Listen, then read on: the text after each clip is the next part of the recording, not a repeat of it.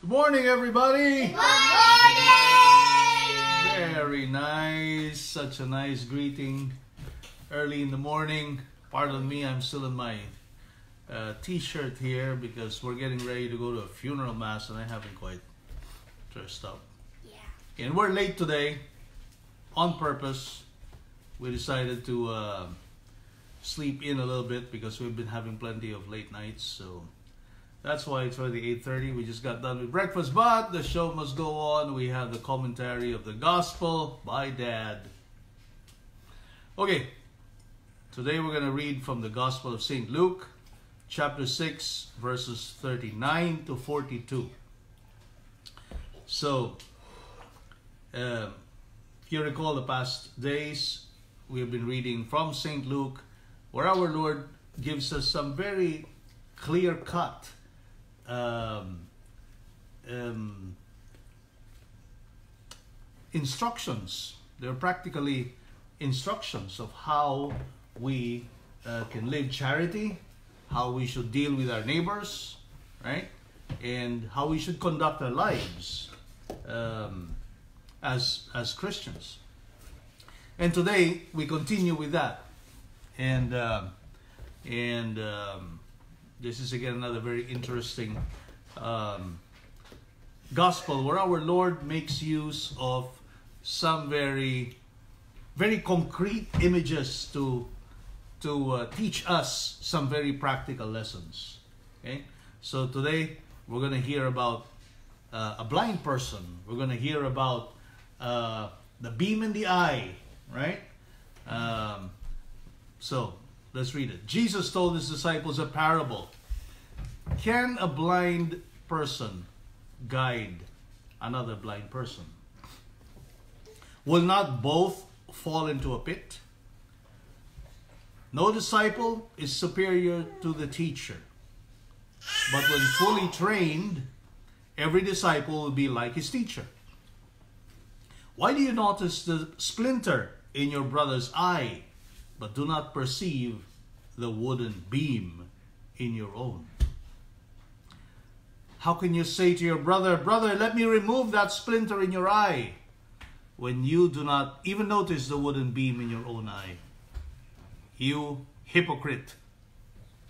Remove the wooden beam from your own eye first, and then you will see clearly to remove the splinter in your brother's eyes.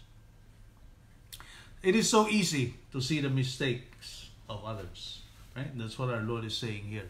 It is so easy for us to notice how other people do wrong. Yet we are so oblivious about our own mistakes. We are all we are we are very oblivious about our own shortcomings. So what does our Lord call that tendency? He calls that hypocrisy. So he tells you, you hypocrites, remove that beam in your own eye first. In other words, learn to deal with your own problems first. Right? Before you even try to do anything about your own brother's mistakes.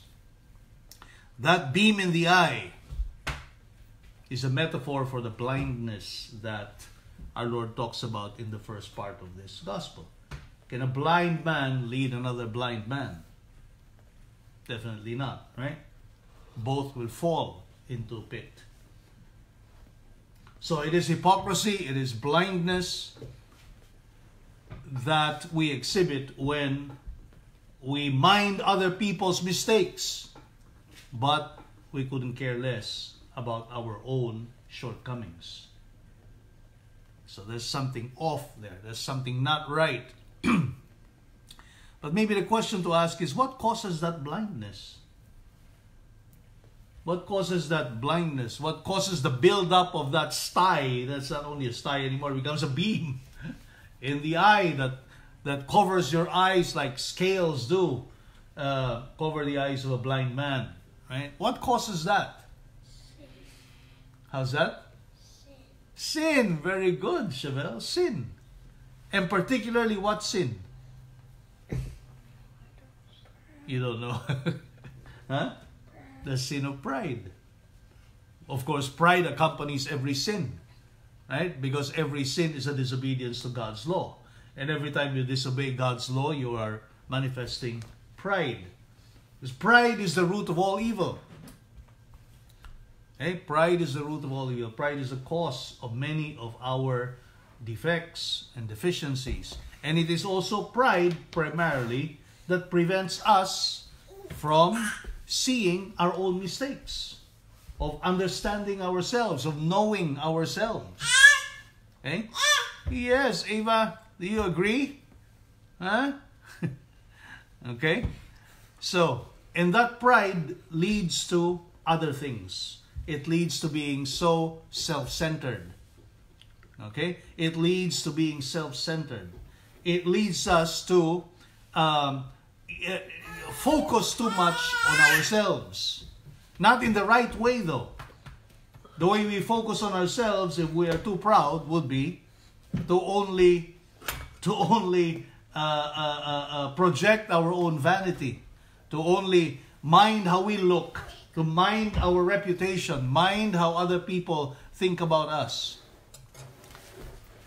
But all of those are, are, are false impressions. Because until and unless we know and recognize our own sins and our own shortcomings, our own defects, then we really do not know ourselves. We really do not know ourselves. So pride, self-centeredness, which leads to selfishness, which leads to insincerity, actually, lack of transparency, and even cowardice. Cowardice. People who don't know themselves enough to understand what's wrong with them are actually cowards. The reason why they could not penetrate themselves, the reason why they cannot even uh, ask their conscience and, and, and go deep inside their conscience to evaluate the wrong things they're doing is because they're cowards. They're afraid to confront the truth about themselves. And pride uh, uh, makes us do that. Pride actually makes us cowards. The pride that we feel in ourselves is actually a, a facade, is actually a front that we put up in order to cover up our own mistakes, to cover up our own shortcomings. And that is the beam. You see, it becomes bigger and bigger. It's not only just a sty, it's not only just a speck in the eye. It becomes bigger and bigger and bigger to the point that it's like a beam that really blinds you and makes you unable to know yourself. Okay? And because you don't know yourself, well, you're in big trouble. You're in big trouble because you will not see anything beyond yourself. You won't even see God. So, how do we combat this? How do we overcome this? What can we do in order to uh, remove that beam in our eye? what can we do? What's the cure for this? The antidote to this is a thorough and sincere examination of conscience. It is the effort to sincerely, humbly talk to God about ourselves and examine our conscience and ask God to enlighten us to realize what's wrong with us, to realize our sins, to realize our shortcomings, to realize our cowardice in confronting our own mistakes, our own sins, our own shortcomings. We have to do examination of conscience. We have to get into the habit of doing a sincere examination of conscience. With humility. With humility. It takes humility. To counteract that pride, it takes humility. To ask ourselves, what's wrong with us? To ask ourselves, Ava, to ask ourselves the hard questions, the hard questions about what's wrong with us and how we can improve ourselves. And for folks of you out, out there, I would recommend that this examination of conscience be done daily. Here in our own household, this is how we end the day. This is how we go to bed before we go to bed. At the end of our day, we devote about 10 minutes where we all sit together in the in the family room and we all do our examination of conscience and I I facilitate that by asking questions to uh, in that during that 10 minute session where we examine what happened during the day and we think about how we approximated those demands of our Christian life during the day. Um, for example, um, in this in this period, what are the questions we ask ourselves in the examination of conscience? So the first question we ask nowadays is, "How did I love today?" That's the first question. We try to ask ourselves in front of our Lord, "How did I show love today?" Love for God, love for neighbor, love for my brothers and sisters, love for my family, love for other people that we encountered today. How did I love today? And we devote a good minute or two to just run through the day and examine that day. How did I love today? Using that question, that prompt, right? It's like a prompt to examine ourselves in that particular point. How did I love today? Then, after about a minute, we ask the second question How did I care today? Did I go out of my way to care for others? Which is, of course, an offshoot of loving, right? But in this case, something more concrete. How did I care today? Even about, you know, the material things of the day. Not necessarily always going out to, uh, to um, minister to others. Eva. but caring about the little things. How did I care today? Then the third question is, how did I serve today? That's the third question. How did I serve today? How did I actually forget myself today and become a servant to others? Primarily to the people at home, my own siblings. How did I serve them? How did I attend to their needs? How did I do that today? What are we all distracted about? Who's there? Hmm? Mm, okay.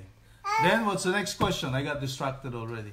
How did we serve today? And then how did we? Excel. How did we excel today?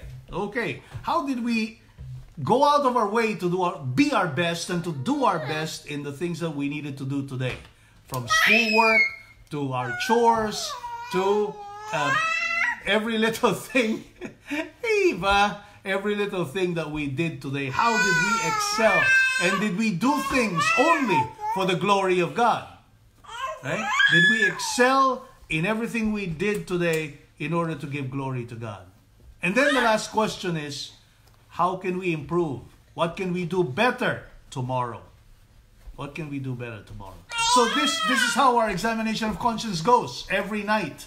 Okay? And after about 10 minutes of doing that, then we all hit the sack, go to bed, and well, say our evening prayers before we hit the sack, and that concludes our day. Now, this is a very good habit. Hey, this girl is smiling now. Come on, come on, come on. Let's talk to them here. Come here. You tell them what you are concerned about today, Ava. There we go. Okay, so that is how we do the examination of conscience every day, every night. And I would recommend that, you know, we do that every night because that is going to help us understand ourselves. It's going to help us um, uh, realize our shortcomings and our our our sins. That can help us later to go and do a very sincere confession. So, examination of conscience and confession, a sincere confession done frequently, as frequently as possible, are the antidotes to pride and to blindness over our own mistakes and our own sins. Okay, and Ava agrees. Okay, that's it for us, folks. Have a good day, everybody. and I hope you all have a good day. Today is the uh, the funeral mass and the burial of uh, Orlando um, uh, Cardona, um, a family friend of our, a friend of ours, a relative also. So let us all pray for Orlando today. Those among you who are listening, uh, let's pray for the repose of his soul. Okay, we're going off today to uh, do the last rites, uh, mass for him in the uh, burial. Okay, say goodbye now. Bye bye, everybody. Bye.